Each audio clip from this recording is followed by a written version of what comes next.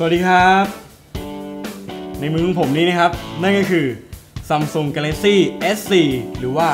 S4 นั่นเอง และวันนี้นะครับ เราจะมารู้จักกับฟังก์ชันการทำงานของมัน อันแรกเลยดีกว่า นั่นก็คือฟังก์ชัน Smart Pause ความพิเศษของมันคือว่าวิดีโอจะหยุดเมื่อเราไม่ได้มองมันปุ๊บ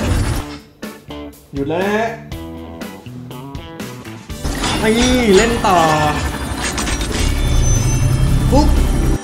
หยุดนะครับ แล้วก็มีฟังก์ชันหนึ่งนะครับ ที่มีทีเด็ดไม่แพ้กันเลย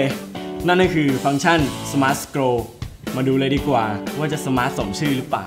ก้มนะฮะเลื่อนขึ้นครับ เงยหน้า เลื่อนลง และสำหรับคนที่มีไอเดียดีๆ ไอเดียเจ๋งๆ แชร์ ไอเดียของคุณมาเลย ส่งคลิปมาที่ My Galaxy Review เงินล้านรอคุณอยู่ครับ